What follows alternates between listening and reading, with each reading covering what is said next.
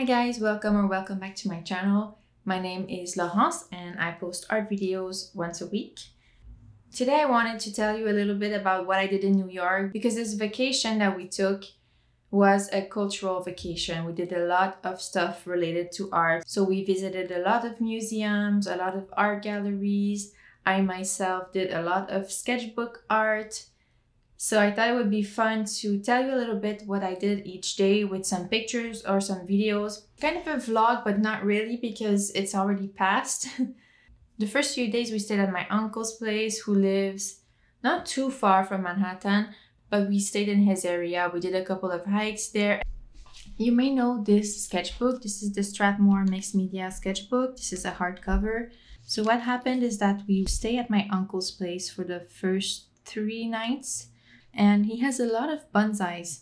I was sitting outside on the porch and I had a good view at one of these bonsais. So I drew this bonsai using my Neocolor tools and some watercolor pencils and I already had a dark background. So I did that on top and I like the result, but I would have changed the way that I drew the needles, which I did later.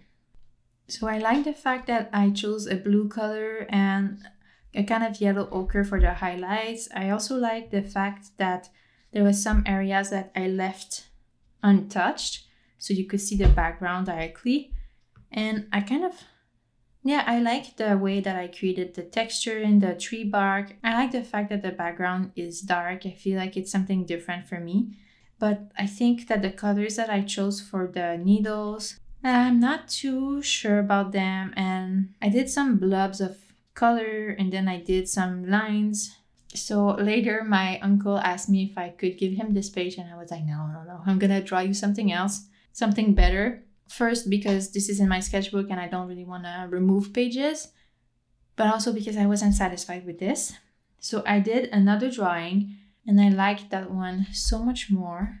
I used my Arches hot pressed watercolor paper pad so the texture was very nice. I created a dark background this time again because I really liked it. And I stayed with the blue for the bark, but this time I used a light blue and a dark blue. And I had some fun creating some shadows and shades in this bark. So sometimes the light blue and the dark blue would merge together. So we would create some nice gradients.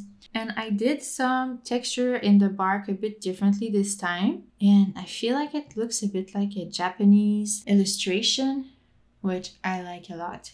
So for the needles, this time I went with two colors. So I used like this fiery red with this yellow. At first, I just created some blobs of color that I mixed together and then over top I added a bit more texture, a bit more lines. And I like that a lot. I feel like it's like a, a fall tree. It looks like it's on fire also. It's very stylized, which I really like. I forgot there's another drawing that I did in the sketchbook. It's just because it's not at the end. There was a page where I had some color that was already there. You know what I do when, when I have some leftover colors, I just put them on the page. So I had some colors that were taking this whole spread and I did this on top, this little landscape using my Neocolor tools. So uh, I use my new set of Neocolor tools, which I'm very excited about, which you can see in my latest art haul. Very exciting. And um, I thought that I would maybe add more details in the rocks or in the pond here, but I really like having a good peek at the background colors. So I think I'm just gonna leave it like that. I like that the colors that you see in the pond are the same that you see in the sky. So I feel, I feel like it's very interesting and I don't feel the need to work on this one more. On our way to New York, we stopped and we did a hike on the Cascade Mountain so it's called the Cascade Trail. And it was so fun. It was a very beautiful hike and it was beautiful all the way through.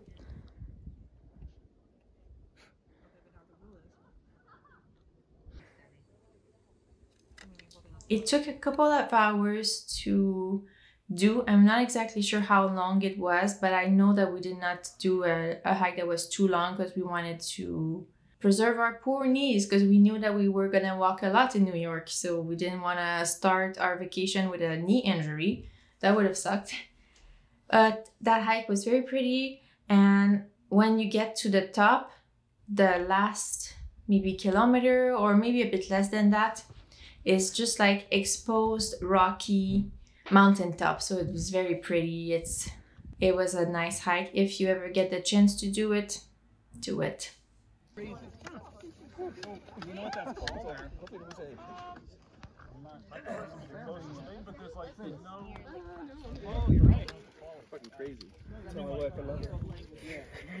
On our first date in Manhattan, we did the touristy stuff. So we visited Times Square, we walked around a little bit.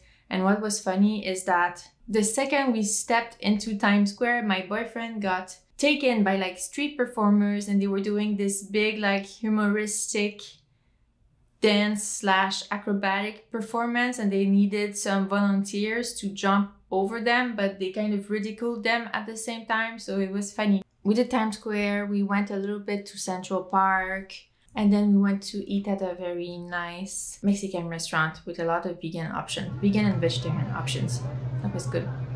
Then our second day in manhattan we had a nice brunch and we went to see some galleries in the area of not Fifth Avenue, but like Madison Avenue. The goal at first was to go to the Met, but first eat brunch. But it took so long to walk to the brunch place that it kind of wasn't worth it to go to the Met anymore. So we just stayed in that area and had a look at some galleries.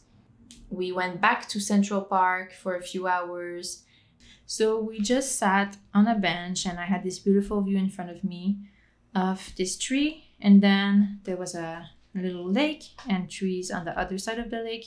So I used my watercolor pencils. I think I also used some Neocolor tools and some watercolor, regular watercolor.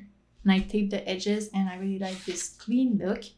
And yeah, when it was finished, then I added another layer of watercolor pencils, but this one I did not dilute it with water. So you can see some nice lines in the water, some nice texture on the tree. For this one, a thing I really like too is that I played with the negative spaces. So I painted the negative spaces to make some of the trees. And it's something that I haven't really done before. So I'm very happy about the result and I like the look of it, so I think that it's something that I'm going to play around with more. Then on our third day, oh, that was a nice day. On our third day, we went to the Chelsea neighborhood, which is known for its art galleries. So we went to the David Zwirner Gallery. I don't know if I pronounced correctly, but there was the Yayoi Kusama exhibition. And it was so beautiful. So Yayoi Kusama is known for her huge sculptures with a lot of polka dots. It's very graphic, and I wanted to see some of her work in person for such a long time.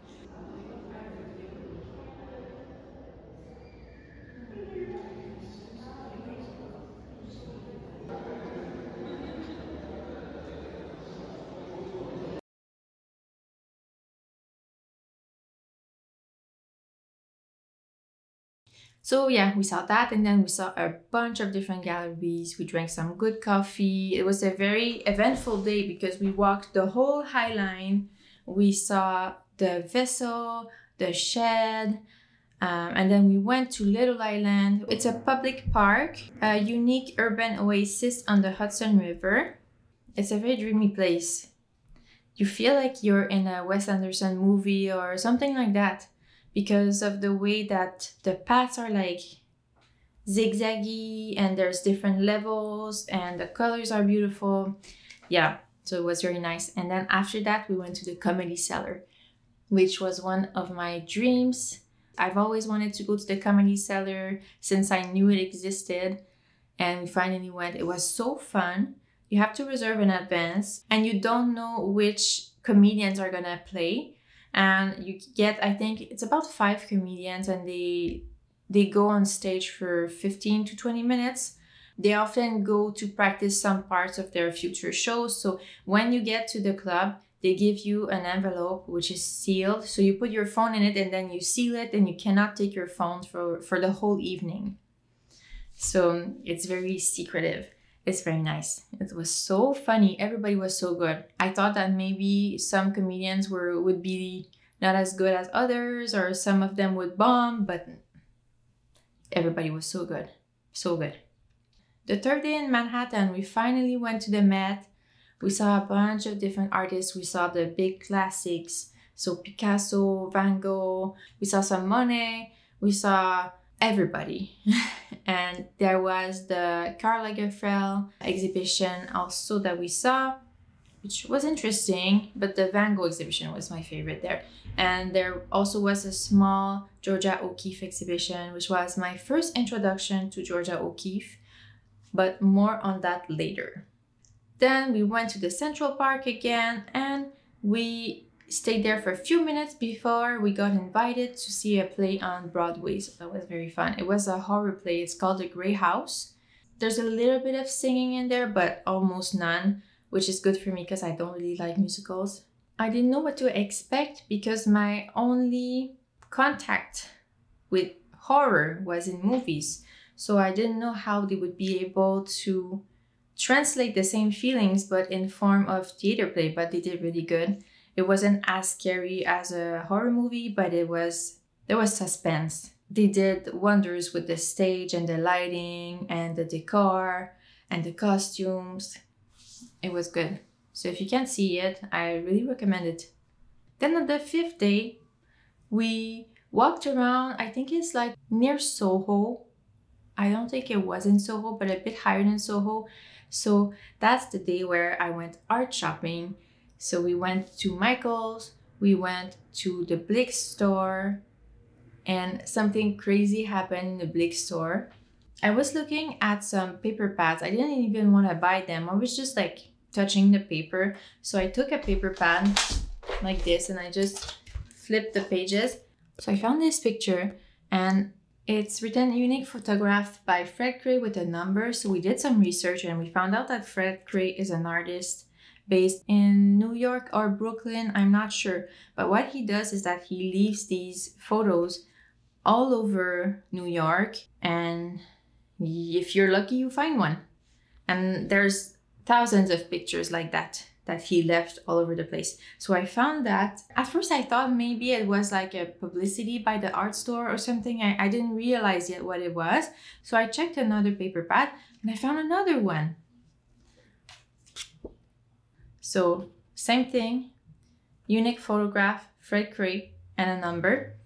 But then we realized what they were. So I started checking all of the paper pads, but I didn't find any others. What are the chances that I found that? I left the store with a bunch of new art supplies that you might have seen if you watch my latest art haul and these two photographs. Then we went to the Washington Square and I use my new art supplies to draw and paint and that's when I used my watercolor brush for the first time. We stayed there for a few hours and what I wanted to do this time was to take more notes. So I feel like this one here looks a bit like a finished drawing. And for this one, I really wanted to focus on the values and the shading and this was meant to be a quick drawing. Turns out that it took a few hours still but it's way less detailed than that other one and i like it a lot too. I like how the background is like not detailed at all. The only thing that pops is that tree. So yeah it was a it was a fun drawing and it was a very relaxing afternoon. Oh and for this one i used one of my newest watercolor pencils that I got from the brand Derwent, the Inktense in the color Amber. And I really liked it because at first I just drew and then at the end I added the water and the color changed a lot when I added the water, which was so fun, very unexpected. So yeah, for the tree I used my watercolor pencil and then for the background I just used some regular watercolor. On the sixth day in Manhattan, we went to the MoMA and they had this Georgia O'Keeffe exhibition. So they had a huge exhibition of her whole career, and it was so interesting. I really like seeing exhibition of an artist's whole career because you really see where they started from, how their style changed, how their mediums changed. Kind of makes me realize that it's okay to experiment and to see my style change because you see only the most popular paintings of these artists who have had decades of years of work, but you don't really see their early work or you don't see their whole portfolio. You think that they're a master in one specific style and they've done only that style their whole career and that's why they're so much better than you. But in fact, they have experimented.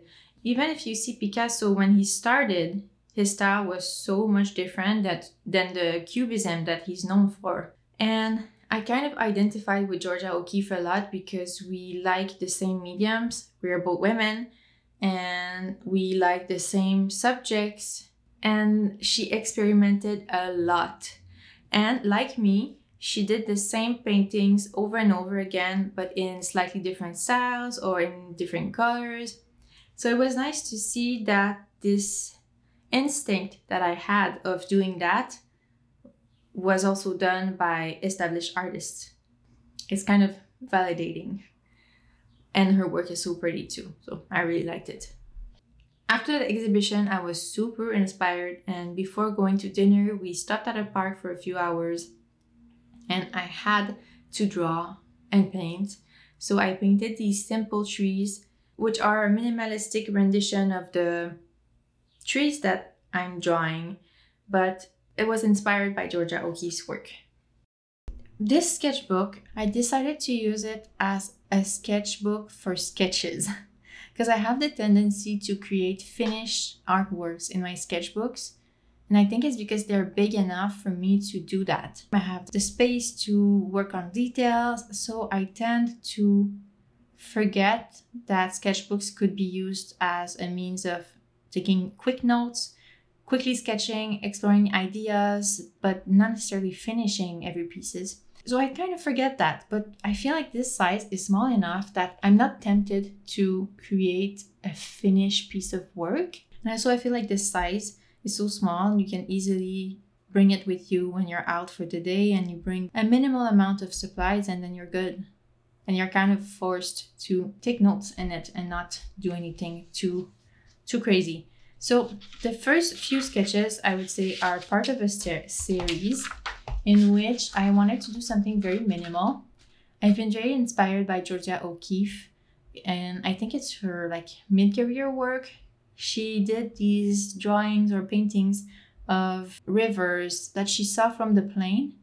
And so she drew them in this kind of way and I liked it so much, I thought I could do the same thing, but with the trees that I keep drawing. I've been drawing a lot of landscapes and trees, so I thought it would be nice to just focus on the shapes and kind of abstract them a little bit. And also, it's a good practice for me to explore different color combinations. So, I've been very liking this kind of fiery red recently, so I started with this color combo. So, I did two. And for these, I used my watercolor pencils. I added water only on the red part and not on the green. Then I did this one.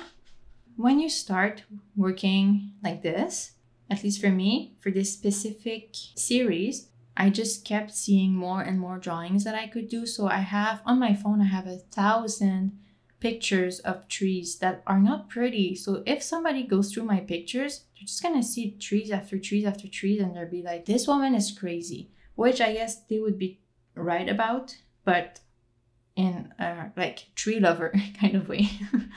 yeah, so I did this one, same thing, same colors. This time I added some water on both colors, but then after I added another layer of watercolor pencil in that green mint shade. Uh, I did that, I remember I did that because when I added the water on the green, I felt like the color would be too diluted so it became much paler. And there was some areas where there was more water and other less water so the color was uneven. So that's why i added an extra layer of pencil and i kind of like this effect. So you have a way more uniform i think layer compared to this. So it's fun because it allows me to try different textures too.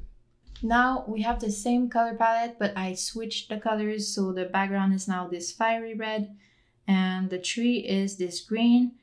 This time I put water on the red, but not on the tree. And I feel like not putting water on the green was the way to go because the pencil lines look like a texture you would see on a tree. So I feel like eh, it works well.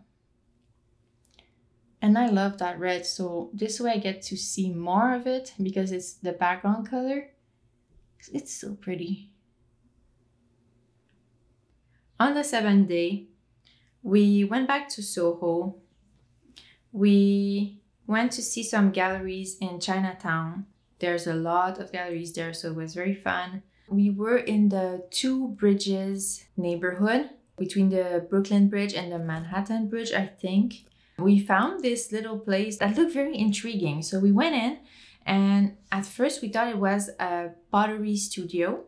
So when we came in, a guy started talking to us, and we found out that he's the owner of the place. He told us that the first floor is the pottery studio, but the second floor is an art cafe. So what you do is that you have to reserve a table in advance. And when you get there, you get this menu, but instead of drinks and food, you order some art supplies. So you could order the watercolors, the charcoal, the pastel. They had one table available still, so we went and we did some art. So I obviously ordered the watercolor menu. So they brought me a little plate with a bunch of watercolor paints on it. And my boyfriend ordered the pastel menu, which was a couple of oil pastels. And I also had my watercolor pencils with me, so I was able to use those as well. So I created a couple of artworks. They also give you paper and everything you need. There's a bunch of stuff that you can use to create your own still lives. It's a very inspiring and artsy place, as you can imagine. So it was so fun. Oh, I wish we had that in Montreal. Although I have my own studio, but it's just a nice environment to create in.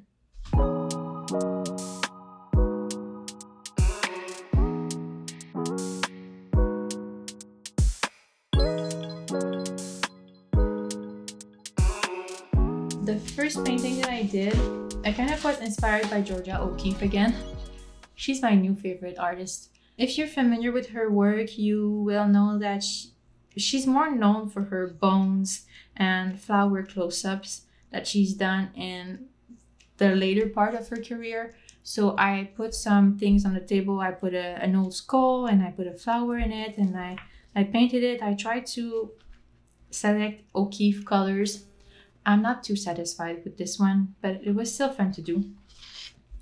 I did this one, which I feel like is way more Georgia O'Keeffe because it's a close-up and the, the colors feel a bit brighter, which feels like her style a bit more.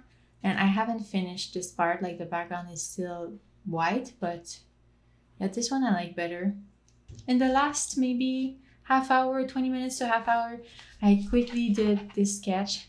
This is my boyfriend working on a table. Some stuff I I painted, some other stuff I just drew. I tried to work very quick.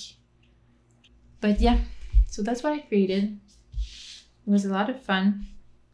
The name of the place is Happy Medium, so if you're ever in that neighborhood, don't hesitate to go. I know that during the week they also organize some art classes so you can register to those and do those as well. And during the weekend they have that art cafe formula. After that, I was so inspired and I still wanted to draw, so we went to another park and I drew some more. Another color palette, so this time we have some blue and the same red. I put the water on the red color in the background, but not on the tree. And I think that I like this color palette a bit less than this. But it's still interesting.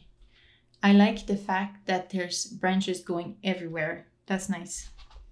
Then I changed color palettes again, still keeping that red, but then this time I put the background in this like lilac or mauve color and I also put water everywhere on every section.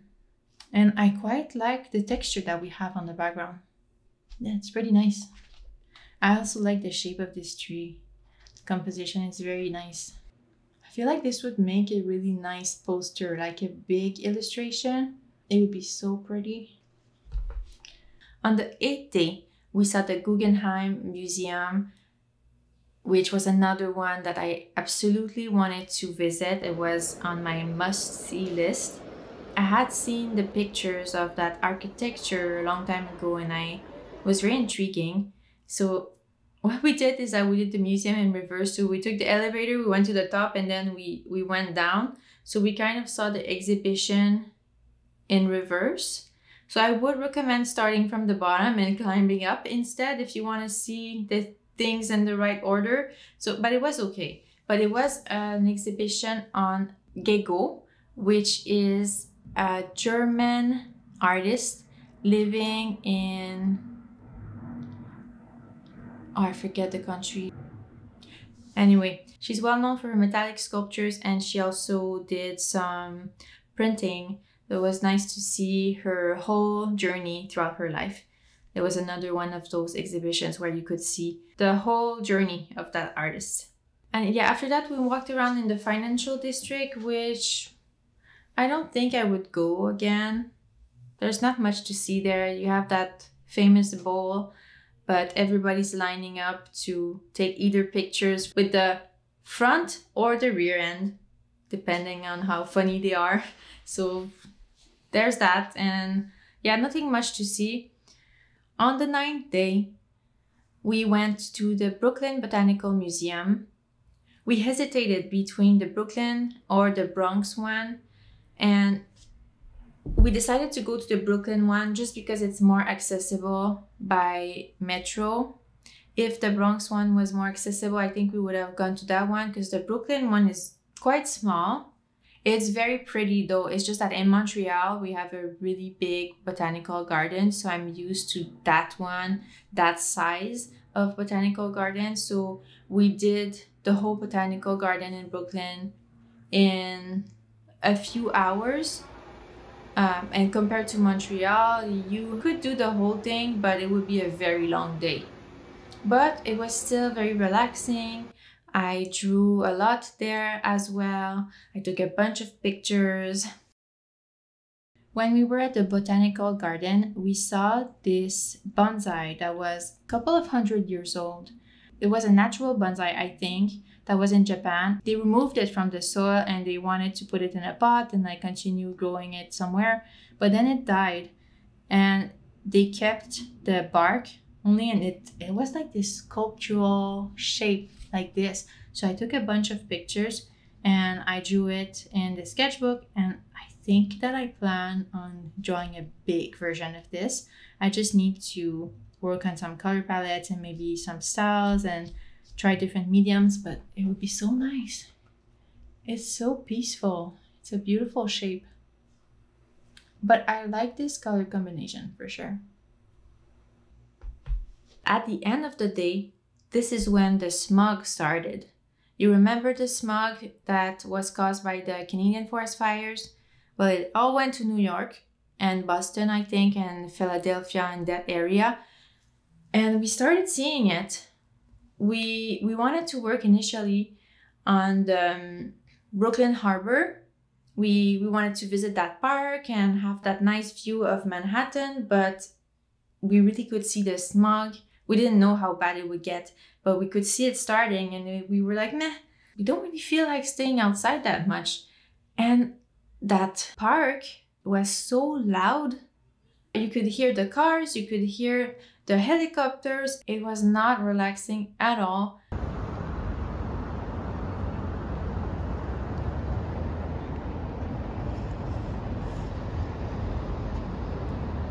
And I really felt on edge already, so I just wanted to leave as soon as possible. So we, we didn't stay. We left and we found a library where I continued to draw.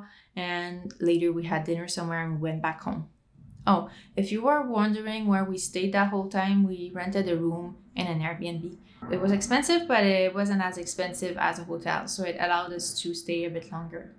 This was in the greenhouse. I think it was the warm section.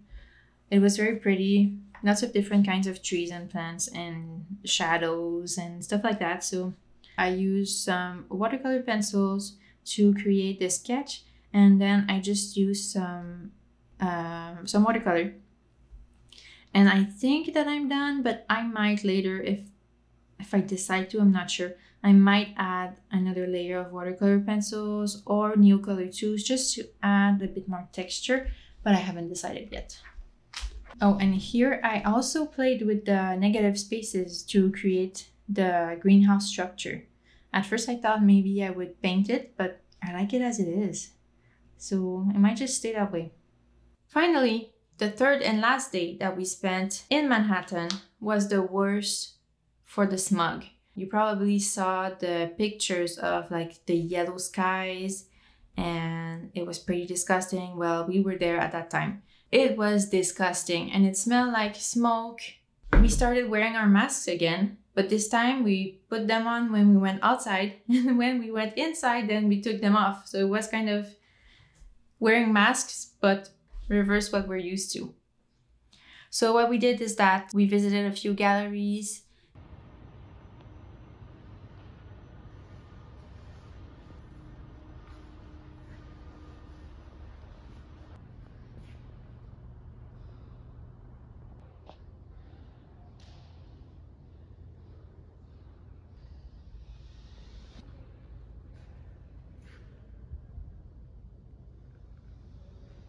we stayed for a couple of hours in a coffee shop and then we went back home early to pack because the next day we had to leave anyway so we decided to order some food and not go out because the air quality was very bad. Oh this is so fun. Okay. So this is a drawing that i did in the car on our way back home and this was inspired by Sandi Hester uh, I don't know if you watch her video, but from time to time she explains that when she's in the car with her husband, she's on the passenger side, and she just creates these landscapes, these invented landscapes. And she just takes stuff here and there in the landscape and she builds her own creation, her own created landscape. She's starting with a an area and then she's going to add something else that she sees and then 15 minutes later she's going to see a fun house she's going to add it in the drawing. So it kind of creates these interesting landscapes. So i had the chance to do that. I've been thinking about doing that for a long time. It's just that i was scared that i would get nausea in the car because sometimes i have travel sickness. But that's when i read. So i didn't know if it would happen to me while drawing but it didn't at all and i had so much fun and it made the time pass so fast, and I never saw this landscape at all. I just saw some things here and there, and then that's what happened. There was no water, no water at all. In fact, it was like just a highway and some random fields and mountains in the background. And that's what happened. It was so fun. So for this, I used watercolor pencils. I think I used Neocolor IIs and I used watercolor if I remember correctly. So that's it. I hope that you enjoyed this retelling of my vacation. It's not something that I do a lot, and I don't think this is something that I will do too much in the future. But it's just that this specific vacation was full of artsy things. So I wanted to share it with you and share the art that I created also myself there. And yeah, it was very refreshing and very inspiring. So yeah, I hope that you liked this video. If you did, please like, comment, subscribe if you're not subscribed already. And I will see you next week. Take care. Bye.